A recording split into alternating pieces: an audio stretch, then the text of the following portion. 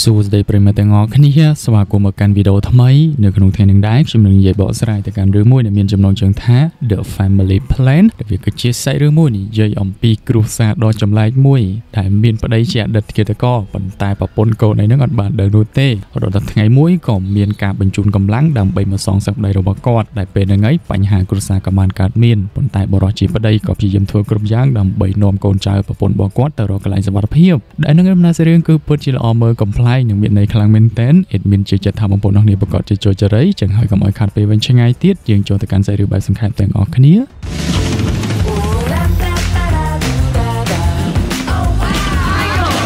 I chase my dreams. Idle, I confident. សាច់រឿងត្រូវបានចាប់ផ្ដើមឡើងជាមួយនឹងទស្សនភាពនៅ Buffalo នៃទីក្រុង New York ប្រទេសអាមេរិកដែលកំពុងតែមានបរិម្នាក់មានឈ្មោះថា Dan គាត់បាននិយាយបញ្ចុះបញ្ចុះភ្ញៀវម្នាក់ឲ្យទិញឡានរបស់គាត់គាត់គឺជាអ្នកលក់ឲ្យក្រុមហ៊ុនមួយហើយគាត់ពូកែចិត្តសាស្ត្រខ្លាំងមែនទែនអាចលួងលោមអ្នកទិញទាំងអស់គ្នាឲ្យទិញឡានរបស់គាត់យ៉ាងងាយនិយាយទៅគាត់ក៏ទទួលបានរហស្សនាមថា Salesman of the Month បានន័យថាគាត់លក់ដាច់បានជាងគេទៀតហើយនៅក្នុងខែហ្នឹងចប់ជាមួយនឹងដែរគាត់ក៏មានមិត្តភ័ក្តិរបស់គាត់ម្នាក់មានឈ្មោះថា Hal ដែលត្រូវជាអ្នកតេឡានតែងតែបោកឡានលឿនលឿនចូលមកក្នុងក្រុមហ៊ុនហើយក៏បានដើរចូលមកអួតទៅកាន់ដានថាដានពិតជាអស្ចារ្យខ្លាំងហើយតែគាត់ក៏អស្ចារ្យដែរគឺគាត់បើកឡានលឿនហើយស្រីស្រីក៏ចូលចិត្តលឿនដែរអញ្ចឹងហើយបានជាគាត់បើកឲ្យលឿនលឿនហើយនៅបន្ទាប់ពីនិយាយគ្នាលេងបន្តិចតួចហើយក៏ដល់ម៉ោងទៅផ្ទះដានក៏បានចាក់ជីវិតអ្នកតគ្នាដើម្បីទៅផ្ទះព្រោះឲ្យល្ងាចហ្នឹងគឺជាថ្ងៃ anniversary របស់គាត់ជាមួយប្រពន្ធគាត់ត្រូវតែប្រញាប់ដើម្បីនាំប្រពន្ធទៅជប់លៀងនឹងហើយគាត់ក៏បានបើកទៅកាន់បរិយនៅក្នុងតំបន់ជាយក្រុងដែលមានទស្សនីយភាពគួររស់នៅខ្លាំងមែនទែនចូលទៅដល់គាត់ក៏បានយកផ្កាកលាប់ឲ្យប្រពន្ធរបស់គាត់ម្នាក់ដែលមានឈ្មោះថា Jessica នៅក្នុងផ្ទះរបស់គាត់គឺមានកូន3នាក់ម្នាក់ប្រុសមានឈ្មោះថា Kyle ម្នាក់ស្រីមានឈ្មោះថា Nina ហើយចំណែកអាប៉ៅនឹងមានឈ្មោះថា Max នឹងហើយនៅពេលដែលឪពុកម្ដាយកំពុងតែស្វីតជុំគ្នាកូននេះវិញក៏បាននិយាយអំពីបញ្ហារបស់គេដែល Nina ក៏បានសុំដូរសាលាគេឈប់រៀនកសែតទេចង់ទៅនៅក្នុងទីក្រុងថ្មីជាមួយមិត្តប្រុសរបស់គេដែលមានឈ្មោះថា Trevor ទៅវិញឪពុកម្ដាយលើចឹងក៏បានបដិសេធថាមិនអាចនោះទេចំណែក Kyle នេះវិញក៏មិនសូវតាក់ទងនិយាយគ្នាជាមួយឪពុកម្ដាយប្រហែលនោះដែរដោយសារតែគេគឺជាអ្នកលេងហ្គេមម្នាក់លេងហ្គេមនឹងញៀនចឹងហើយមិនសូវនិយាយជាមួយណាណៃនោះទេតពីញ៉ាំអីហើយគេក៏បានសួរឪពុកម្ដាយទៅលេងផ្ទះមិត្តភក្តិរបស់គេដែលមានឈ្មោះថាសាមៀហើយដែនក៏បានសួរហេតុអ្វីទៅតែផ្ទះសាមៀហ្នឹងទៅលេងហ្គេមមែនលេងហ្គេមរាល់ថ្ងៃមួយថ្ងៃសឹងតែ24ម៉ោងមួយអាទិត្យ7ថ្ងៃហើយនៅតែលេងទៀតត្រូវចេះចេញទៅខាងក្រៅហាត់ប្រាណអត់អីខ្លះណាប៉ុន្តែកូនប្រុសប្រុសនោះទេសុំទៅលេងហ្គេម តែពេលហ្នឹងឪពុកក៏បានប្រាប់ទៅកាន់កូនកូនទាំងអស់គ្នាថាគាត់ជាមួយប្រពន្ធត្រូវចេញទៅរៀបចំពិធីជប់លៀង anniversary ចឹងហើយត្រូវឲ្យកូនកូនមើលថែ Max ពួកគេក៏បានចរចាគ្នាបដ ாய் ថាតើអ្នកណាត្រូវមើលថែ Max ដែរនិយាយគ្នាច្រឡំច្រឡំទៅក៏គេសម្រេចចិត្តឲ្យនីណាជាអ្នកមើលថែ Max ខាល់ត្រូវទៅជួបជាមួយនឹងសាមៀខាល់ក៏បានអដើរចេញទៅបាត់អ្នកដែលសេតគឺជានីណាហើយនឹងឯខែក៏បានជិះកង់ទៅដល់ផ្ទះរបស់សាមៀហើយក៏បានឲ្យលុយសាមៀចំនួន200ដុល្លារ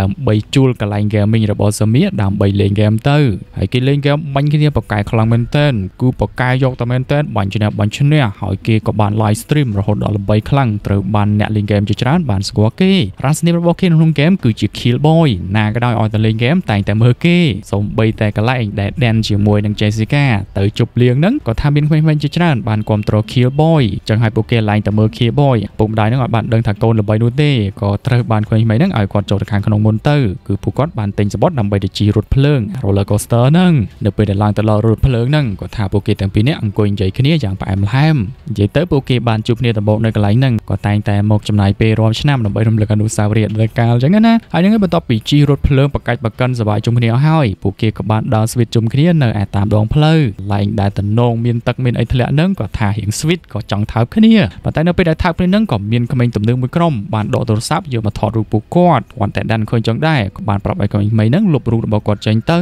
ប៉ុន្តែក្មេងហ្នឹងមិនតែបានស្ដាប់ចាស់ក៏ដូចជាមិនខ្លាចចាស់ឯណាក៏បានផុសរូបលពូដែនឡើងទៅលើអ៊ីនធឺណិតបាទដែនក៏ព្យាយាមសុំវល់ពួកវាប៉ុន្តែពួកវានៅតែមិនព្រមស្ដាប់លពូថែមទាំងបានយកភេទជ្ជៈចាក់លើក្បាលរបស់គាត់ទៀតផងតាមពុតទៅដែនខឹងចង់តែវាយជាមួយនឹងនោះទេតែដោយសារតែគាត់ព្យាយាមទប់ចិត្តក៏បានដើរចេញពីកន្លែងហ្នឹងហើយប្រពន្ធរបស់គាត់ក៏អំពេញចិត្តដែរនៅពេលដែលឃើញប្តីកំសាក់មិនហ៊ានវាយក្មេងប៉ុន្តែអត់ហ៊ានថាអីនោះទេក៏បានឡើងទៅលើឡានជាមួយនឹងប្តីត្រឡប់ផ្ទះវិញទៅប៉ុន្តែនៅលើឡានហ្នឹងគាត់ក៏បាននិយាយថាគាត់ពិតជាមិនចង់ឲ្យប្តីវាយក្មេងៗទំនើងនោះទេដោយសារតែវាមិនត្រូវប៉ុន្តែក្នុងចិត្តរបស់គាត់គឺពិតជាខកចិត្តខ្លាំងមែនទែននៅពេលដែលឃើញប្ប្តីកំសាក់មានហ៊ានវាយក្មេងទាំងអស់គ្នាហ្នឹងប្តីក៏ស្ងាត់ជ្រាបមិនតវ៉ាមួយប្រពន្ធទេណាក៏បានជួបប្រពន្ធដល់ផ្ទះដល់ផ្ទះហ្នឹងក៏ប្រពន្ធបានរៀបចំខ្លួនចូលទៅគេងមកទៅខណៈដែល Dan វិញបន្ទាប់ពីងូតទឹកលាងសម្អាតខ្លួនអស់ហើយក៏បានទៅមើលកូនមើល Max ហ្នឹងដូរខោអាវដូរអីឲ្យវាអស់ហើយក៏បានដាក់វាគេងតទៅពីហ្នឹងគាត់ក៏បានចូលទៅរកប្រពន្ធនៅក្នុងបន្ទប់ស្រាប់តែបានឃើញប្រពន្ធរបស់គាត់ដេកបាត់ទៅហើយថ្ងៃហ្នឹងគឺជាថ្ងៃ anniversary តែប្រពន្ធដេកចោលប្តីប្តីក៏បានដាក់ប្រពន្ធប្រពន្ធក៏បានក្រោកឡើង Dan ក៏បានប្រាប់ Jessica ថាស្ដាយខ្លាំងណាស់ដែលគាត់បានវាយក្បាលពួកអានឹងម្នាក់មកដំបងប្រពន្ធរបស់គាត់លើកហើយក៏បានសើចក៏បានសុំទោសប្តីដែលគាត់ប្រតិកម្មមិនសូវល្អទៅកាន់ប្តីនិងបានវាយក្មេងទាំងអស់គ្នាហ្នឹងហើយក៏បាននាំគ្នាគេងទៅតពីហ្នឹងស្អែកឡើងក៏បានមកដល់ Jessica ក៏បានចូលក្នុងក្លឹបកីឡាដើម្បីហាត់វាយបាល់សាក់គាត់តែងតែមកហាត់កន្លែងនឹងជាប្រចាំហើយនៅក្នុងថ្ងៃហ្នឹងដែរក៏បានជួបជាមួយនារីម្នាក់ដែលមានឈ្មោះថា Gwen ពួកគេក៏បាននិយាយសន្ទនាគ្នាពីនេះពីនោះបន្តិចដូចជាត្រូវគ្នា Jessica ក៏បាននិយាយអំពីកូនស្រីរបស់គេគឺជា Nina ហ្នឹងដែលឥឡូវហ្នឹងចង់បោះបង់ការសិក្សាទៅតាមសង្សារទៅវិញពិតជាឈួតមែនក្មេងៗហើយ Gwen វិញក៏បាននិយាយថាគេមក Buffalo ហ្នឹងគឺមកដើម្បីមើលអតីតសង្សាររបស់គេម្នាក់ដែលធ្លាប់ចាក់ចេញពីគេកាលពីរដូវកាលនិយាយគ្រាចឡើងចឡើងទៅស្រាប់តែ Jessica ក៏បានជ្រុលដៃវាយ Gwen ត្រូវមួយដៃនៅប៉ោងមុខប៉ុន្តែ Gwen មិនប្រកាន់នោះទេក៏បាននាំគេទៅញ៉ាំអីជុំគ្នាហើយពេលហ្នឹងឯងពួកគេក៏បានសន្ទនាមួយគ្នារាប់អានគ្នាជាមិត្តភក្តិតែម្ដងតែនិយាយគ្នាបានបន្តិចក៏ដល់ម៉ោងដែល Gwen ទៅធ្វើការក៏បានចាក់ចេញពី Jessica ដោយបានទុកនាមបានមួយឲ្យគេហើយតែពេលហ្នឹង Jessica ក៏បានត្រឡប់ទៅធ្វើការងាររបស់គេដូចគ្នាស្របពេលហ្នឹងដែរ Dan នៅវិញក៏បានយក Mac ចូលទៅក្នុងផ្សារទំនើបដើម្បីទិញអីវ៉ាន់ប៉ុន្តែនៅពេលដែលដើរទិញអីចឡើងចឡើងទៅគាត់ក៏បានឃើញបរិសម្នាក់មកវាប្រហាគាត់តាមកញ្ចក់គាត់ក៏បានកិច្ចហត់ហើយម្នាក់ហ្នឹងក៏នៅតែប៉ុនប៉ងវាយគាត់ថែមទាំងបានគុតកំបិតមកដាក់កូនប្រុសរបស់គាត់ទៀតផងតែគាត់ក៏បានរងជាប់គាត់បានសុំយកម៉ាក់ទៅទុកសិនចាំវាយគ្នាប៉ុន្តែម្នាក់ហ្នឹងនៅតែមិនព្រមហប់មកវាយគាត់ដដែលគាត់គ្មានជំរឿសក៏បានវាយអាប៉ែហ្នឹងទោះបីជាគាត់ដៃម្ខាងកាន់កូនជើងម្ខាងទប់ខ្លួនក៏ដោយក៏គាត់នៅតែអាចវាយឈ្នះអាប៉ែហ្នឹងបោកចូលក្នុងទូទឹកកកសន្លប់បាត់ទៅគ្រប់គ្នាឈរនៅជុំវិញហ្នឹងក៏រំភើបចិត្តជាមួយនឹងការទស្សនារឿងមួយហ្នឹងខ្លាំងមែនទែនចំណែកដែលនៅវិញគាត់ដូចជាបារម្ភដូចជាមានបញ្ហាអ្វីមួយក៏បានប្រញាប់ញ៉ាចូលក្នុងឡានបោកឡានយ៉ាងលឿនទៅដល់ផ្ទះជ្រែចូលក្នុងផ្ទះទៀតធ្វើអ្នកជិតខាងឆ្ងល់ពីគាត់ខ្លាំងមែនទែនមិនក៏ឈួតឈួតបកាច់បកាច់អញ្ចឹង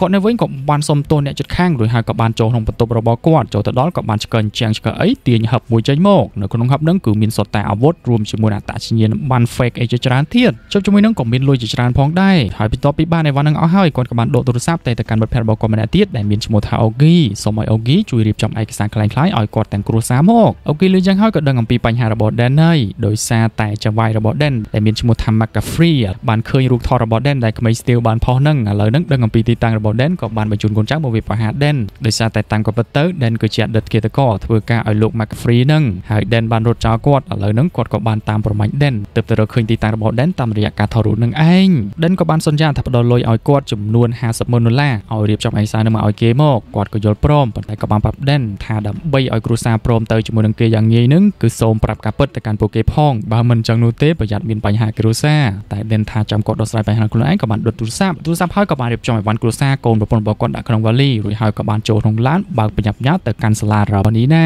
ចូលដល់សាលារកនីណានៅក្នុងបន្ទប់រៀន report ហ្នឹងគាត់ថាមិនបានឃើញនីណានោះទេក៏បានសួរមិត្តភក្តិរបស់នីណាថាតើនីណានៅណាដែរម្នាក់នឹងក៏បានប្រាប់ថានីណាអត់ចូលមករៀនរយៈពេល3ខែទៅហើយគាត់ក៏បានឲ្យលុយម្នាក់នឹង100ដុល្លារសូមដឹងអំពីទីតាំងរបស់នីណាម្នាក់នឹងក៏បានប្រាប់ចឹងហើយគាត់ក៏បានទៅកាន់ទីតាំងមួយហ្នឹងជួបជាមួយនីណាប្រាប់ឲ្យនីណាទៅជាមួយនឹងគាត់ឲ្យលឿនលឿនចូលជាមួយនឹងគាត់ក៏បានបន្ទោសនីណាផងដែរដែលបានបោះបង់មុខវិជ្ជាកសែតដែលខ្លួនស្រឡាញ់ទៅតាមប្រុសទៅវិញតែនីណាក៏បានថាឲ្យពុកគ្មានណាគេអានរបស់ខ្លួនផងហ្នឹងឲ្យគ្រូលំតអីទៀតក៏បានដើរចូលក្នុងឡានជាមួយឪពុកទាំងកំហឹងទៅតទៅពីហ្នឹងឪពុកជាមួយនឹងកូនស្រីក៏បានបើកឡានទៅរកខែលប៉ុន្តែក៏បានដឹងថាខែលបានបោះបង់សាលាដែរថ្ងៃមួយថ្ងៃគេនៅតែ live game នោះទេនឹងឯងគាត់ក៏បានបើកទៅផ្ទះរបស់សាមៀក៏បានឃើញខែលកំពុងតែ live game ខឹងខែខ្លាំងមែនទែនប៉ុន្តែក៏បានប្រញាប់ប្រញាល់នាំខែលចូលក្នុងឡានបើកដល់គេត្រឡប់ទៅជួបជាមួយប្រពន្ធហើយនៅលើឡានហ្នឹងគាត់ក៏បានគម្រាមទៅកាន់កូនកូនថានៅពេលដែលជួបគ្នាជាមួយនឹងម្ដាយឲ្យធ្វើជាសប្បាយរីករាយជាមួយនឹងដំណើរកំសាន្ត unexpected ដែលគាត់បានរៀបចំឡើងភ្លាមភ្លាមបើមិនធ្វើសប្បាយនោះទេគាត់នឹងប្រាប់ប្រពន្ធថាពួកគេបានបោកប្រាំម្ដាយតាំងពីកន្លងមកពួកគេក៏យល់ព្រម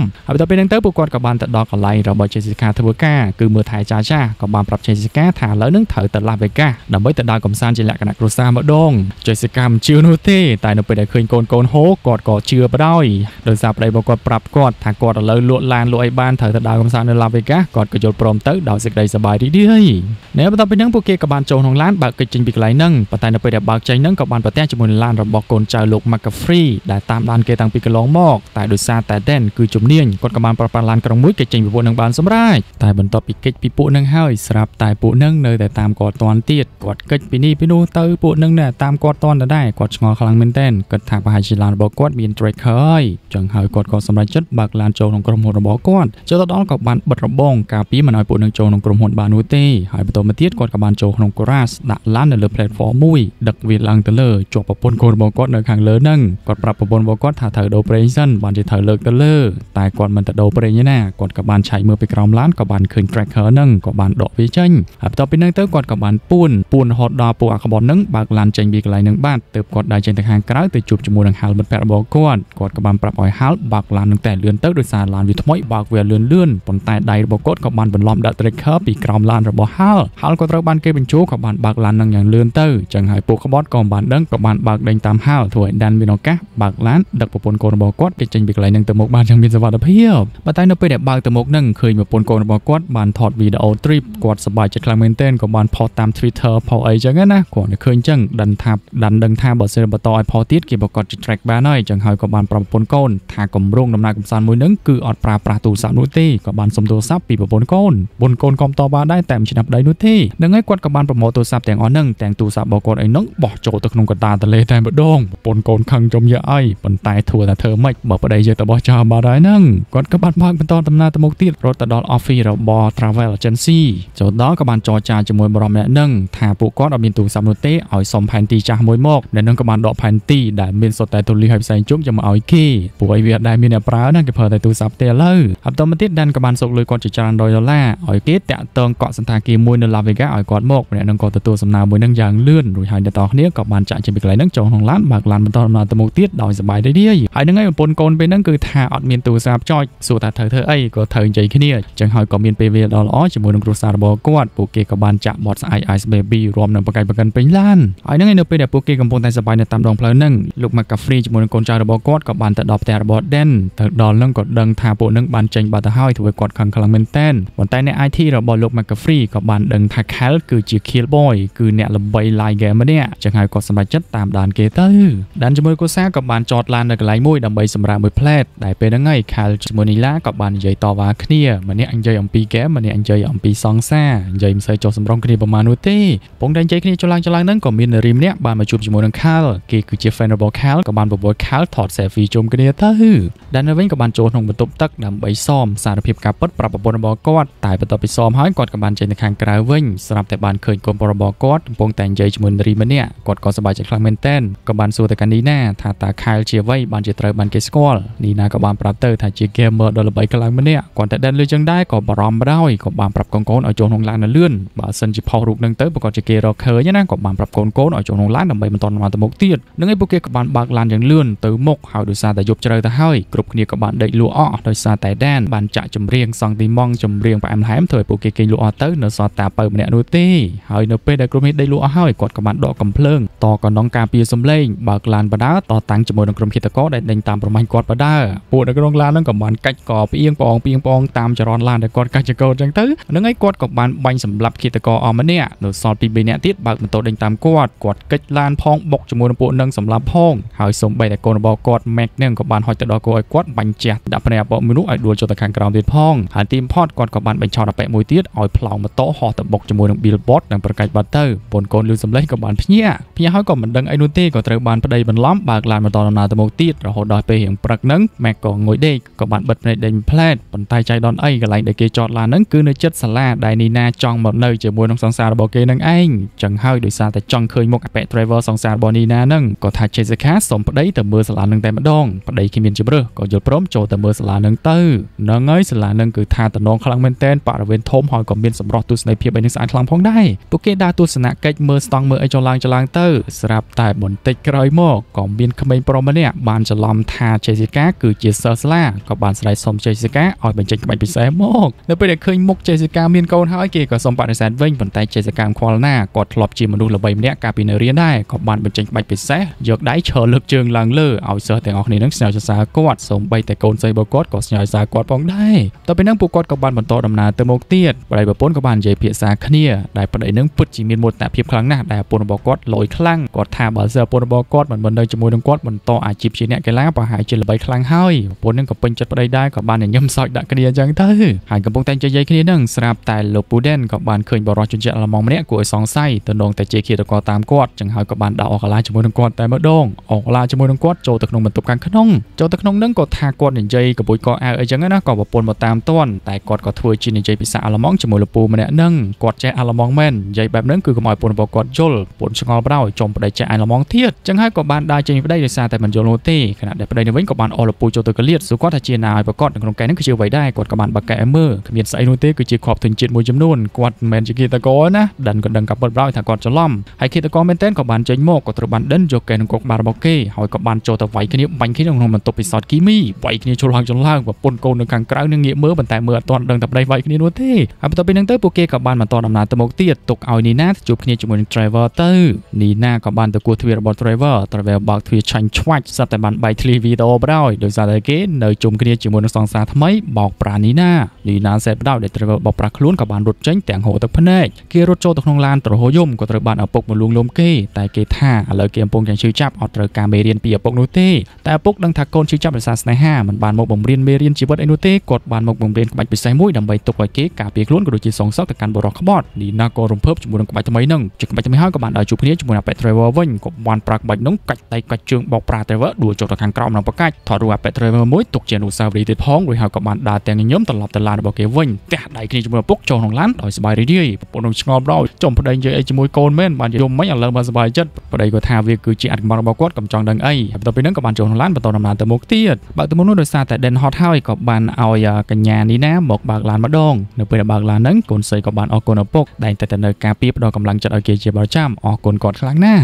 ហើយពេលហ្នឹងដែរ Den ក៏បាននិយាយអំពីការស្ញើសាររបស់គាត់ទៅកាន់ស្នាដៃកូនស្រីនៅក្នុងការសរសេរកាសែតតាមពិតទៅគាត់ធ្លាប់អានអ្វីដែលកូនស្រីសរសេរផុសហើយតែកូនស្រីដែរដឹងនោះទេកូនស្រីលឺចឹងដែរក៏រំភើបចិត្តតាមពិតទៅគេមានទេពកោសល្យក៏ដូចជាស្រឡាញ់ការសរសេរកាសែតខ្លាំងមែនទែនតែបែរជាបបងសាលាទៅតាមអាប៉ែ Travel ទៅវិញឥឡូវគេភ្ញាក់ខ្លួនហើយគេនឹងត្រឡប់ទៅវិញចាប់ផ្ដើមចូលរៀនសរសេរកាសែតសាជាថ្មីណាហ្នឹងហើយនិយាយបដាក៏បានបន្តមកទៅមុខបដាហើយនិយមហ្នឹងពួកគេក៏បានសម្រាប់ក្នុងស្ថាគារមួយហើយនៅពេលដែលសម្រាប់ស្ថាគារហ្នឹងហើយប្តីប្រពន្ធក៏មានអារម្មណ៍ស្រឡាញ់គ្នារលឹកទៅដល់អតីតកាលសាជាថ្មីហ្នឹងហើយពួកគាត់ក៏បានចំណាយពេលជាមួយគ្នាយ៉ាងកក់ក្ដៅនៅលើក្រែទៅប្រពន្ធក៏បាននិយាយថាប្តីរបស់គាត់ប្រហែលថ្ងៃហ្នឹងដូចជាល្អអស្ចារ្យខ្លាំងណាស់ប្រហែលជាកាលពីមុនមិនទាន់ស្គាល់គាត់គាត់មានចរិតបែបហ្នឹងនឹងឯងតែដិនក៏បានថាគាត់ផ្លាស់ប្ដូរចរិតគឺមិនមែនដោយសារស្រឡាញ់ពូនអីនោះទេគឺដោយសារតែគាត់ស្អប់ជីវិតរបស់គាត់កាលពីដិតកាលពេកហ្នឹងបន្ទាប់ពីសម្រាប់អញ្ចឹងហើយព្រឹកឡើងក៏បានមកដល់ពួកគេក៏បានចូលទៅញ៉ាំអាហារនៅក្នុងភោជនីយដ្ឋានមួយហើយនៅពេលហ្នឹងហើយដិនក៏បានបន្លប់លួចទូរស័ព្ទរបស់បរិសម្នាក់យកទៅតេតាក់ទងគ្នាជាមួយនឹងអូហ្គីហើយពេលហ្នឹងអូហ្គីក៏បានប្រាប់ថារៀបចំអស់ហើយតែគាត់ចង់ឲ្យដិនប្រាប់ប្រពន្ធរបស់គាត់អំពីរឿងសម្ងាត់សិនណាតែដិននៅទាន់បានប្រាប់នោះទេគាត់ក៏បានដាស់តឿនដិនម្ដងទៀតថាត្រូវតែប្រាប់បើសិនជាមិនចង់មានបញ្ហាពេលខាងមុខជាបន្ទាប់ពីនិយាយគ្នាហើយគាត់ក៏បានយកទូរស័ព្ទទៅសងគេវិញ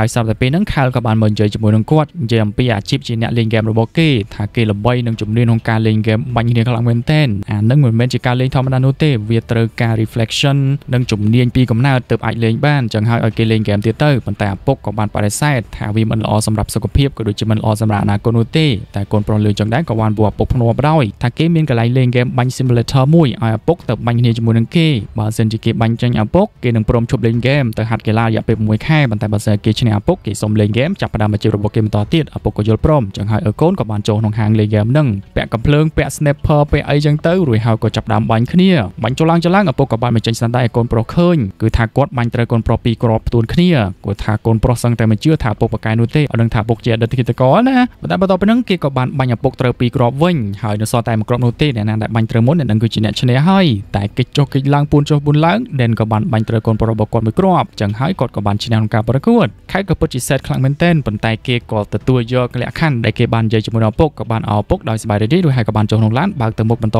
ទៀតពេលហ្នឹងពួកគេពិតជាមានពេលវេលាល្អសម្រាប់គ្រួសារខ្លាំងមែនទែនក៏បាន enjoy ទៅដល់ភាពនៅលើឡានហ្នឹងទាំងស្នាមញញឹមទៅនៅទីបំផុតពួកគេក៏បានទៅដល់ Las Vegas ក៏បានឡើងទៅលើស្ថានភាពដ៏ធំមួយពួកគេបានជួលហោមួយរស់នៅក្នុងគ្រួសារទាំងលុយខ្លាំងមែនទែនគ្រួសារសប្បាយចិត្តបដ ாய் ដែលបានមកនៅកន្លែងដ៏ទំនើបមួយហ្នឹងប៉ុន្តែបន្ទាប់ពីហ្នឹង Den ក៏បានប្រាប់គ្នាឲ្យចាំគាត់នៅកន្លែងហ្នឹងគាត់មានការចុះទៅខាងក្រៅមកផ្លែតគាត់ក៏បានចុះទៅខាងក្រៅជួបគ្នាជាមួយនឹងសាមៀសាមៀក៏បានផ្ដល់ឯកសារហ្នឹងមកឲ្យគាត់គាត់ក៏បានផ្ដល់លុយទៅឲ្យសាមៀដូចគ្នាបន្ទាប់ពីបានឯកសារហើយ Den ក៏បានត្រឡប់មកវិញរួចហើយក៏បានរៀបចំខ្លួនដាក់កំបិតដាក់អីក្នុងស្រោមជើងហើយក៏បានតុបតែងខ្លួនដើម្បីទៅដេតជុំគ្នាជាមួយប្រពន្ធរបស់គាត់ហ្នឹងហើយបន្ទាប់ពីហ្នឹងគាត់ក៏បានដាក់ដឹកដៃប្រពន្ធប្រាប់ទៅកាន់កូន12នាក់ថាត្រូវនៅក្នុងផ្ទះហ្នឹងហើយមានអាហារញ៉ាំអីលយលយគ្រប់យ៉ាងអស់ហើយកុំចុះទៅក្រោមកុំអីឲ្យសោះណាគូធ្វើកុំបើកក្រៅពីគាត់ចឹងណាប្រាំយ៉ាងហើយគាត់ក៏បាននាំប្រពន្ធដើម្បីទៅស្លៀកជុំគ្នាទៅប៉ុន្តែកូនកូនគ្រាន់តែឪពុកម្ដាយចាក់ចេញទៅបាត់ក៏ចាប់ផ្ដើមបែកស្លយបដ ாய் ឪពុកម្ដាយមានដឹងថាកូនរៀបចំរោងអាក្រក់អត់ណាក៏បានទៅដើរលេងជុំគ្នាទៅខណៈដែលកូនកូននៅវិញក៏បាននាំគ្នាចុះទៅខាងក្រោមហើយដោយសារតែអត់មានកន្លែងទៅខែលក៏សម្រេចចិត្តនាំនីណាទៅកន្លែងមួយដែលគេហៅថា Hyper X ហើយនីណាក៏បានទៅរួមប្រកាច់ប្រកិននៅកន្លែងហ្នឹងហើយដេនពិតជាល្បីខ្លាំងមែនតែនដោយសារតែអ្នកលេងហ្គេមណាក៏ស្គាល់ដែនដែរតែអ្វីដែលពួកគេមិនបានដឹងគឺថានៅកន្លែងហ្នឹងក៏មានកូនចៅរបស់លោក McCaffrey នៅតាមដានផងដែរពួកគេក៏បានតាមដានអ្នកទាំងពីរយ៉ាងគៀកគិតហើយអ្នកទាំងពីរនៅពេលដែលចូលទៅខាងក្នុងក៏បានជួបជាមួយនឹង gamer ដ៏ល្បីម្នាក់ទៀតដែលមានឈ្មោះថា Ran Ran ក៏បានមកនិយាយចរចាគ្នាជាមួយនឹងខៃថាគេធ្លាប់ឃើញខៃវាយ game ជំនាញខ្លាំងណាស់ចឹងហើយគេក៏បានណែនាំខៃទៅឲ្យនារីម្នាក់ទៀតដែលមានឈ្មោះថា Valkyria ដែលក៏ជា fan របស់ Kyle ដែរចឹងនៅពេលដែល Kyle ឡើងទៅជួបគ្នាជាមួយនឹង Valkyria ស្រីសាហ្នឹង Ren ក៏មានឱកាសនិយាយចរចាគ្នាជាមួយនេះណាហើយដោយសារកូនរបស់គេត្រូវប្រកួតក្នុងថ្ងៃហ្នឹងដោយសារតែគេអត់មានទំនុកចិត្តថានឹងឈ្នះហ្នឹងក៏សម្រេចចិត្តនិយាយញ៉ាយនីណាលេងតែម្ដងទៅខណៈដែល Kyle នៅវិញក៏បាននិយាយយ៉ាងសប្បាយរីករាយជាមួយនឹង Valkyrie ហើយ Valkyrie ក៏បានអញ្ជើញគេចូលទៅប្រកួតហ្គេមជំនួសឲ្យទីតាំងរបស់ Ren ទៅនៅពេលដែលពួកគេចាប់ផ្ដើមប្រកួតហ្គេមហ្នឹង Ren ក៏បានប្រាប់ទៅកាន់នីណាថាក្រុមរបស់ Valkyrie គឺគ្មានសង្ឃឹមក្នុងការឈ្នះនោះទេចឹងហើយបានជាគេខ្ជិលទៅលេងតែខុសពីការរំពឹងទុករបស់ Ren គឺថាក្រុមរបស់ Valkyrie ទោះបីជាចាញ់ទាំងអស់មែនទោះបីជាបាញ់ចាញ់គេទាំងអស់គ្នាមែនប៉ុន្តែនៅសល់ Kyle ម្នាក់ដែលជាអ្នកជំនាញ Kyle តែម្នាក់ឯនោះទេក៏បានបាញ់សម្លាប់គូបដិបត្តិស្លាប់ Orling រហូតដល់បានធ្វើឲ្យក្រុមរបស់គេឈ្នះត្រូវបានគ្រប់គ្នាតែដៃអបសាទរឪពុកម្ដាយនេះវិញអត់បានដឹងអីនោះទេក៏បាន sweet ផឹកស្រាផឹកអីជុំគ្នាយ៉ាងផ្អែមល្ហែមហើយ Den ក៏ចង់ប្រាប់ការពិតទៅកាន់ពុនរបស់គាត់អំពីប្រវត្តិរបស់គាត់ជាឃាតករណាប៉ុន្តែលោកពូចាក់សាហ្នឹងតែងតែមកនិយាយអញញ៉ៃជាមួយនឹងគាត់និយាយជាភាសាបារាំងអីចឹងណា Den ក៏បាននិយាយភាសាបារាំងជាមួយនឹងគាត់តែគាត់ក៏បានសារភាពថាអត់ចេះបារាំងនោះទេចេះតែនិយាយរឿងចាក់ស្រាតែប៉ុណ្្នឹងឯងជួយសិកាឃើញចឹងក៏ឆ្ងល់បដ ாய் ប្តីរបស់គាត់ម្ដងនិយាយអាឡម៉ង់ឥឡូវនិយាយបារាំងទៀតហើយមិនដឹងជាចេះប្រហែលភាសានោះទេហើយមិនដឹងជាមានរឿងអីគេដាក់គាត់ខ្លះហើយណា Den ក៏តាក់ទើបដ ாய் មិញចង់ប្រាប់ការពិតប៉ុន្តែឥឡូវក៏មិនដាច់ចិត្តនោះទេខ្លាចប្រពន្ធកាន់តែខឹងចឹងហើយគាត់ក៏បាននិយាយភាសាបារាំងសារភាពប្រាប់ប្រពន្ធតែប្រពន្ធស្ដាប់មានយល់ណាក៏គិតថាប្តីនិយាយញ៉ៃខ្លួនគិតថាប្តីនឹងនិយាយភាសាសិចស៊ីកាន់តែស្រឡាញ់ប្តីកាន់តែខ្លាំងទៅវិញហើយបន្ទាប់ពីហ្នឹងគាត់ក៏បាននាំប្រពន្ធទៅលេងបៀចាក់អីចុះឡើងចុះឡើងទៅក៏បានបន្តដំណើរទៅមុខទៀតប៉ុន្តែបន្ទាប់ពីហ្នឹង Den ក៏បានដកទូរស័ព្ទតែទៅកាន់កូនកូនរបស់គាត់ប៉ុន្តែមិនត្រូវបានកូនកូនលើកនោះទេគាត់ដឹងថាអាចនឹងមានបញ្ហាក៏បានប្រញាប់ញ៉ាំត្រឡប់ផ្ទះវិញទៅដល់ផ្លាស់ភ្លាមបើកបន្ទប់របស់កូនកូនមើលក៏បានឃើញក្រែត្រូវបានគ្របគិតថាកូនកូនក៏លំភួយដីបាត់ទៅហើយក៏បានធូរទ្រូងជាពិសេសគឺប្រពន្ធនឹងតែម្ដងគាត់មានអារម្មណ៍ស្រឡាញ់ប្តីខ្លាំងមែនទែនក្នុងថ្ងៃហ្នឹងចឹងហើយគាត់ក៏បានដុសធ្មេញរៀបចំខ្លួនឲ្យយ៉ាងស្រស់ស្អាតរួចហើយក៏បានទៅរៀបចំបន្ទប់បែបរ៉ូមែនទិកដាក់ភ្លើងរ៉ូមែនទិកចាក់ចម្រៀងរ៉ូមែនទិកបាញ់ផ្សែងរ៉ូមែនទិកទៀតផងប៉ុន្តែផ្សែងរបស់គាត់ក៏បានបង្ហាញអំពីភ្លើងឡាស៊ែដែលកំពុងតែតម្រង់មកកាន់ Den Den ក៏បានគេចចេញពីក្រប Snap នឹងតាន់ពេលល្មមហើយបន្ទាប់ពីហ្នឹងគឺក៏បានទាញដបស្រាអកលដ៏ខ្លាំងមួយគប់ទៅកាន់ Snapper ហ្នឹងហើយក៏បានបាញ់កំភ្លើងដាក់ដបហ្នឹងទៅក៏បានឆេះក៏បានធ្វើឲ្យ Snapper ទាំងអស់គ្នានឹងឆេះបន្តមកទៀត Den ក៏បានបាញ់ស្លាប់ពួកគេទាំងពីរនាក់ប៉ុន្តែជាអកុសលអីប្រពន្ធរបស់គាត់ក៏ត្រូវបានម្នាក់ចាប់ Clay បាត់ទៅហើយ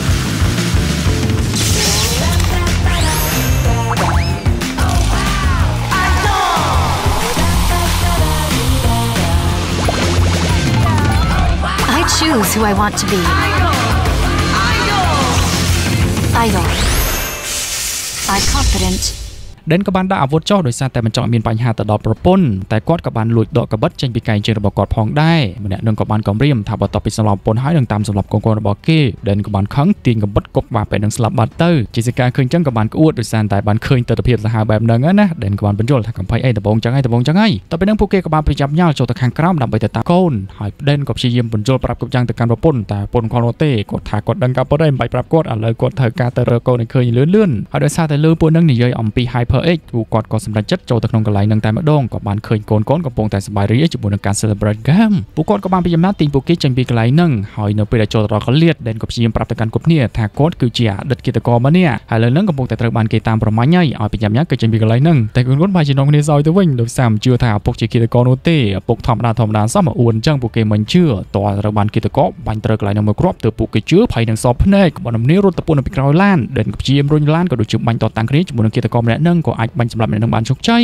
ហើយពេលហ្នឹងជេសកាមបានកូននោះទេអ្នកដែលគួតគឺជា Carl វិញក៏បានរំលាយបន្តបញ្ញាប់ញាប់រត់ទៅខាងមុខទៀតនៅពេលទៅដល់សន្តាគារវិញនៅពេលទៅដល់កន្លែងថ្មីពួកគេក៏បានអង្គុយភាសាគ្នា Den ក៏ព្យាយាមប្រាប់គ្រប់យ៉ាងអំពីប្រវត្តិរបស់គាត់ទៅកាន់ប្រពន្ធកូនហើយឥឡូវហ្នឹងត្រូវដូរឈ្មោះទៅនៅក្នុងទីតាំងថ្មីដើម្បីគេចេញពីគិតករទាំងអស់គ្នាហ្នឹងខៃក៏បានតវ៉ាជាមួយនឹងឪពុកឪពុកមិនឲ្យខ្លួនលេងហ្គេមបាញ់គ្នាខ្លាំងៗនោះទេប៉ុន្តែគាត់គឺជាអតីតគិតករបាញ់សម្លាប់មនុស្សមែនតែនទៅវិញគាត់ធ្លាប់បាញ់មនុស្សអស់43នាក់ឯណោះដែលមានស្នាដៃពូកែខ្លាំងមែនតែនឪពុកក៏ព្យាយាមបញ្យល់ទៅកាន់កូនកូនមូលហេតុដែលគាត់គេចេញពី social media ហ្នឹងគឺដោយសារតែគាត់មិនចង់ឲ្យទីតាំងរបស់គាត់បែកធ្លាយនឹងឯងហើយបន្ទាប់ពីហ្នឹងគាត់ក៏បានចែកអតញ្ញម័នទៅកាន់កូនកូនទាំងអស់គ្នាហ្នឹងកូនកូនក៏បានតវ៉ាបដ ாய் ដែលឈ្មោះរបស់គេប្លែកត្រូវទៅរស់នៅក្នុងទីក្រុងថ្មីចឹងហើយពួកគេមិនអាចទទួលយកបានការផ្លាស់ប្ដូរភ្លាមៗនោះទេក៏សម្រេចចិត្តចាក់ចេញពីឪពុកសូម្បីតែប្រពន្ធរបស់គាត់ហ្នឹងក៏មិនជឿក៏មិនស្ដាប់ហេតុផលរបស់គាត់នោះដែរក៏បានដើរចេញពីគាត់សម្រេចចិត្តចាក់ចេញពីគាត់ក្នុងថ្ងៃស្អែកហើយនៅពេលដែលពួកគេចូលទៅសម្រាប់ហ្នឹងប្រពន្ធហ្នឹងក៏បានតាក់ទងទៅកាន់ Gwen ឲ្យមកជួយយកគេផងចឹងហើយ Gwen ក៏យល់ព្រមថាមកជួបគេនៅក្នុងថ្ងៃស្អែកហើយនៅពេលដែលប្រពន្ធកូននៅខាងក្នុងប្តីក៏បានអង្គុយយាមទ្វារពេញមួយយប់ខ្លាចមានបញ្ហាមកកាន់ប្រពន្ធកូនរបស់គាត់ណារហូតដល់ព្រឹកឡើងប្រពន្ធកូនក៏បានខ្វែងគប់ពីគាត់នោះទេក៏សម្រេចចិត្តចូលក្នុងតាក់ស៊ីចាក់ចេញពីគាត់តែម្ដងគាត់ក៏ព្យាយាមប្រាប់ទៅកាន់ពួកនឹងថាបើធ្វើអញ្ចឹងអាចនឹងមានគ្រោះថ្នាក់ត្រូវបានលោក McAfee មកតាមចាប់ពួកគេហើយតែប្រពន្ធក៏បាននិយាយឌឺមកកាន់ប្តីទៅវិញថាមើលថែតែខ្លួនឯងទៅក៏មករំពីពួកគេអីថាហើយក៏បានជីតាស៊ីចាក់ចេញពីគាត់ទៅបាទជីតាស៊ីមួយសម្បកក៏បានទៅជួបគ្នាជាមួយនឹង Gwen ដែល Gwen បានជិះយន្តហោះរបស់គេមកទទួលអ្នកទាំងគ្នានឹងតែម្ដងគេមិននឹកស្មានថា Gwen អស់ចាស់ដល់ម្លឹងនោះទេប៉ុន្តែនៅពេលដែលចូលទៅដល់ខាងក្នុងហ្នឹង Gwen ក៏បាននិយាយអំពីប្រវត្តិរបស់គេថាគេធ្លាប់មានអតីតសង្សារម្នាក់ដែលគេបានបណ្ដោយឲ្យចាក់ចេញពីគេហើយឲ្យម្នាក់ហ្នឹងទៅរស់នៅ Buffalo ឆ្លាញ់ប្រពន្ធថ្មីអីចឹងទៅហើយគេត្រឡប់ទៅ Buffalo ហ្នឹងគឺគ្រាន់តែចង់ដឹងថាប្រពន្ធថ្មីរបស់អតីតសង្សាររបស់គេហ្នឹងវាមានអីខ្លះឥឡូវហ្នឹងគេបានឃើញហើយហើយថែមទាំងធ្វើឲ្យ Dream ហ្នឹងមកចូលចិត្តគេហើយឥឡូវហ្នឹងកំពុងតែចូលក្នុងអន្តៈរបស់គេហើយនិយាយចុះនិយាយឡើងទៅក៏ថា Jessica ភ្ញាក់ខ្លួនព្រើតែម្ដងតាមពិតគេចាញ់ល្បិចរបស់ Gwen ហើយក៏ត្រូវបាន Gwen ចាប់ចម្រិតយកទៅឲ្យលោក McAfee ដាក់ចូលក្នុងឡានថ្មីមួយទៀតនៅពេលដែលចាប់ពួកនឹងបានហើយ McAfee ក៏បានដកទូរស័ព្ទតែតាក់ទងទៅកាន់ Den ថាលើចាប់គ្រួសាររបស់គេបានហើយបើសិនជាមិនចង់ឲ្យគ្រួសារស្លាប់ទេមកជួបគាត់នៅក្នុងអាគារដែលត្រូវបានគេបោះបង់មួយ Den ក៏យល់ព្រមក៏បានប្រញាប់ញ៉ាល់បើកឡានទៅកាន់ទីតាំងណាត់មួយហ្នឹង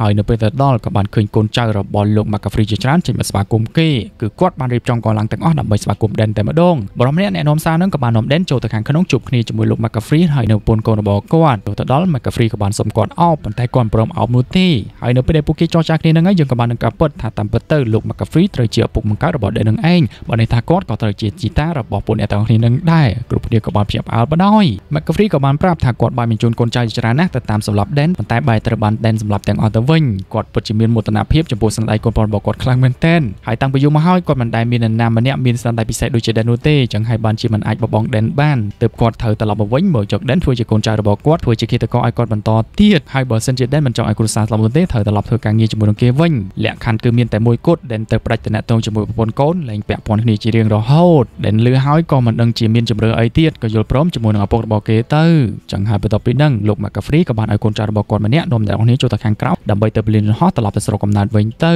ប៉ុន្តែនៅពេលដែលនៅក្នុងចតាយន្តហ្នឹងកូនកូនក៏បានប្រាប់ម្ដាយថាទៅជួយឪពុកវិញឪពុករបស់គេគឺជាមនុស្សល្អម្នាក់ចឹងហើយម្ដាយក៏យល់ព្រមគាត់ក៏បានបន្លំធ្វើជាដូរខោឲ្យ Max តែបន្ទាប់មកទៀតគាត់ក៏បានយកខោប្រឡាក់អញហ្នឹងទៅដាក់មុខលពូដែលបានជូនពួកគេរួចគាត់ទម្លាក់ពីលើចតាស្លាប់បាត់ទៅតែបន្ទាប់ពួកគេក៏បានត្រឡប់ទៅក្នុងវិញដើម្បីជួយសង្គ្រោះ Dan ហើយ Dan នៅវិញក៏ត្រូវបានកញ្ញា Gwen មកអស់កលាជាមួយនឹងគេដើម្បីធ្វើ Dan មកឆ្លាញ់ខ្លួនសារជាថ្មីប៉ុន្តែ Dan មិនឆ្លាញ់នោះទេ Dan ក៏បានអស់កលាគេវិញដើម្បីប្រឡំបិចធ្វើឲ្យគេសន្លប់ហើយបន្តិចក្រោយមកប្រពន្ធកូនរបស់ Dan ក៏បានចូលមកដល់កន្លែងហ្នឹងហើយ Dan ក៏បានចាត់ការ Gwen ឲ្យសន្លប់បាត់ទៅហើយបរិប IT ហ្នឹងក៏ត្រូវបានគេចាប់ចងជាប់ Dan ក៏បានប្រាប់កាពិតទៅកាន់ប្រពន្ធថាគាត់ចង់ប្រាប់គេយូរហើយប៉ុន្តែអត់មានទឹកចិត្តប្រាប់នោះទេហើយសូមមេត្តាទូយកគាត់ធ្វើជាប្តីវិញទៅអ្វីដែលគាត់ចង់បានគឺគ្រាន់តែចង់រស់នៅជាមួយប្រពន្ធកូនដែលមានសេចក្តីសុខតែប៉ុណ្្នឹងឯងបានជាខំកិច្ចចេញពីជីវិតឃាតករមករស់នៅជាមួយប្រពន្ធកូនលាក់ប្រវត្តិបែបហ្នឹងប្រពន្ធក៏យល់ពីប្តីហើយក៏យល់ព្រមទទួលយកគាត់សារជាថ្មីតែអ្វីដែលពួកគេត្រូវធ្វើពេលហ្នឹងគឺត្រូវការចាត់ការលោក McAfee ទើបអាចជួយសង្គ្រោះប្រពន្ធកូនបានណាណាហើយលោក McAfee នៅវិញក៏មានអារម្មណ៍ថាមិនស្រួលបានបញ្ជូនកូនចៅឲ្យឡើងទៅខាងលើវិញ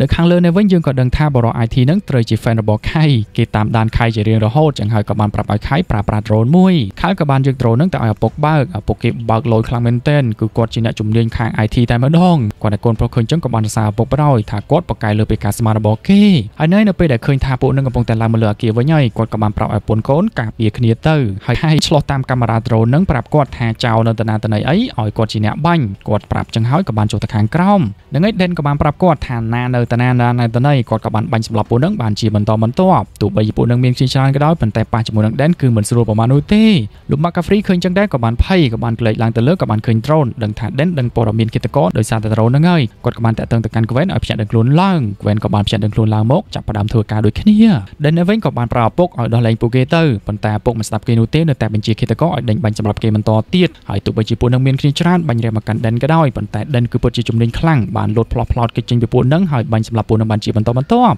ជាសិកានៅវិញក៏មានបញ្ហាដែរដឹងថាមានគិតកោជាចដាយន្តឡើងមកលើក៏បានប្រាប់ឲ្យកូនកូនចូលទៅពួននៅពីក្រោម platform មួយរួចហើយគាត់ក៏បានទាញកំភ្លើងបាញ់ទៅកាន់ចដាយន្តនឹងបាញ់ភុងភាំងភុងភាំងភុងភាំងស្រាប់តែ Gwen ក៏បានដើរចេញមក Gwen ដើរចេញមកក៏បាននិយាយភាសាចិត្តសាស្ត្រឲ្យ Jessica គប់កំភ្លើងដាក់គេនៅពេលដែលគប់កំភ្លើងហើយគេក៏បានវាយ Jessica តែម្ដងដោយសារតែដឹងថាបែកបាច់ដីគឺគេអាចឈ្នះ Jessica បានយ៉ាងស្រួលនឹងឲ្យ Jessica ក៏ចង់សាក់លបងក្បាច់គុនជើងជាមួយនឹងគេតែមានកឡូជាមួយនឹង Gwen ណាណា Gwen គឺជាឃាតករបានេះហើយ Jessica ធ្វើតែហាត់ប្រានឹងសួរថាវាយមិនឈ្នះ Gwen Gwen ក៏ចាប់ផ្ដើមបដៅគេតែម្ដងហើយ Kyle វិញក៏បានប្រាប់ឪពុកអំពីទីតាំងឃាតករឪពុកក៏បានសម្លាប់ជាបន្តបន្ទាប់ហើយលោក McAfee ក៏បានសម្លឹងទៅកាន់ស្នាដៃរបស់ Den ដោយរំភើបកូនប្រុសរបស់គាត់គឺពិតជាពូកែខ្លាំងមែនទែនប៉ុន្តែគាត់ត្រូវតែសម្លាប់គេផងដែរហើយបន្ទាប់ពីហ្នឹងគាត់ក៏បានទាញកំភ្លើងបាញ់កំទេចត្រូនបាត់ទៅដែល Den ឥឡូវគឺខ្លួនទីពឹងខ្លួនហើយលែងមានកូនជួយណា Jessica នៅវិញក៏ត្រូវបានកវិនបោកប្រាស់បុកនេះបុកនោះក្នុងបកាច់បកិនហើយនៅទីបំផុតក៏ត្រូវបានកវិនទាត់គេទៅបុកជាមួយថ្មត្រូវបានថ្មបាក់សង្កត់សឹងតែស្លាប់ទៅហើយប្រពន្ធកំពុងតែវេទនាប្តីនេះវិញក៏ត្រូវបានឪពុកវាយបំបាក់ស្មងជើងឲ្យដួលផ្កាប់មុខចុះខាងក្រោមផងដែរតមកទៀតគាត់ក៏បានទីកំភ្លើងភ្ជុំមកកាន់ Den ប៉ុន្តែមិនទាន់សម្លាប់ Den នោះទេនិយាយអនុស្សាវរីយ៍ឪពុកកូនបន្តិចសិនហើយនៅខាងលើនេះវិញម្ដាយក៏បានសម្លឹងទៅកាន់កូនៗទាំងពីរ3នាក់ដែលកំពុងតែត្រូវបានកវិនគំរាមរុញសម្លាប់ហើយចុងហើយគាត់ក៏មានកម្លាំងចិត្តងើបចេញពីថ្មហក់ទៅវាយគ្នាជាមួយនឹងកវិនម្ដងទៀតប៉ុន្តែក៏ត្រូវបានកវិនបោកគាត់ធ្លាក់ចុះទៅខាងក្រោមគាត់មិនស្លាប់នោះទេនៅតែព្យាយាមក្រោកខ្សែជាថ្មីតែដែលនៅវិញក៏បានប្រើល្បិចក្លែឪពុកបានដោះក្រងកំភ្លើងចេញពីកំភ្លើងរបស់គាត់រលីងចឹងហើយអត់មានកំភ្លើងបាញ់គ្នានោះទេក៏សម្រេចចិត្តវាយគ្នាដៃមួយស្មើតែម្ដងជីស៊ីកានៅវិញក៏នៅតែអំព្រមបោះបង់ក៏បានប្រើប្រាស់ក្បាច់កីឡារបស់ខ្លួនទាញឫស្សីមួយដើម្បីលើកខ្លួនឯងទៅវាយគ្នាជាមួយនឹងកវិននៅខាងលើប៉ុន្តែមានណាអាស័យក៏បានបាក់គាត់ក៏បានធ្លាក់ផ្កាប់មុខត្រូវបានកវិនសោយចំអកតែគាត់ក៏បានទីឫស្សីម្ដងទៀតដើម្បីលោតឡើងទៅម្ដងទៀតក៏ត្រូវបានកវិនមើងងាយថាគ្មានប្រយោជន៍នោះទេតែមានណា Jessica ក៏បានប្រន់ល្បិចមានតែបានលោតអាស័យណាក៏បានកប់អាស័យនឹងទៅចំកណ្ដាលដើមទ្រូងរបស់កវិនធ្វើឲ្យកវិនចុងអាស័យស្លាប់នៅកន្លែងនឹងភ្លាមភ្លាមទៅប៉ុន្តែពេលនឹងដែរដែលនៅវិញក៏ត្រូវបានឪពុកវាយគេនឹងទ្រមហើយបំរុងទាញកំភ្លើងបាញ់សម្រាប់គេទៅហើយស្រាប់តែប្រពន្ធកូនក៏បានចូលមកដល់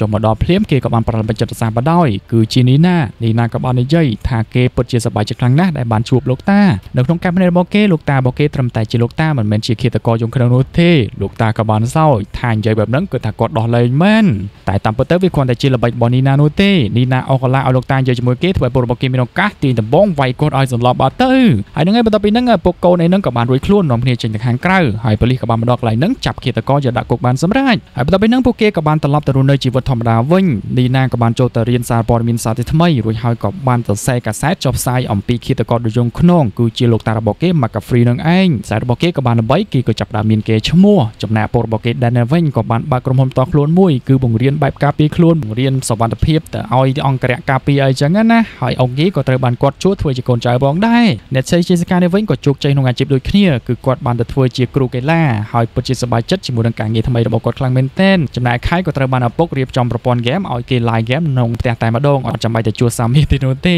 គេក៏ចាប់ដើមល្បីទៅល្បីទៅគ្រួសារក៏បានជោគជ័យទាំងអស់គ្នាហើយនឹងឯងពួកគេក៏បានរស់នៅយ៉ាងសុខសាន្តជាមួយនឹងគ្នាជារៀងរហូតទៅនៅចុងក្រោយពួកគេក៏សម្រេចចិត្តធ្វើដំណើរកំសាន្តជាគ្រួសារជុំគ្នានៅ Stanford ហើយលើកហ្នឹងក៏អត់យកទូរស័ព្ទទៅទៀតហើយសម្រេចចិត្តធ្វើដូចជាអតីតកាលចឹងហើយនឹងឯងសាច់រឿងក៏មិនបានបន្តដំណើរទៅមុខទីនោះទេវាក៏ត្រូវបានបញ្ចប់ជាមួយនឹងទស្សនវិជ្ជាដ៏សប្បាយរីករាយហ្នឹងទៅដែលនឹងឯងបងប្អូនទាំងគ្នាសាច់រឿងមួយហ្នឹងគឺមានតែប៉ុណ្្នឹងនឹងឯងវាគឺជាសាច់រឿងដ៏ទំនងនិងល្អមើលខ្លាំងមួយនិយាយទៅសាច់រឿងហ្នឹងបើមើលរឿងពេញគឺថាកំ pl ែងខ្លាំងមែនតែនហើយវាយគ្នាក៏ល្អមើលខ្លាំងដែរ admin សង្ឃឹមថាបងប្អូនទាំងគ្នានឹងចូលចិត្តមកកាន់សាច់រឿងទៅចុះហើយពិតជាអរគុណច្រើនខ្លាំងមែនតែនដែលបានតាមដានស្ដាប់វីដេអូនេះរហូតដល់ចប់យើងចាំជួបគ្នាក្នុងវីដេអូក្រោយៗទៀតសុខសប្បាយទាំងអស់គ្នាជម្រាបលាបាយបាយ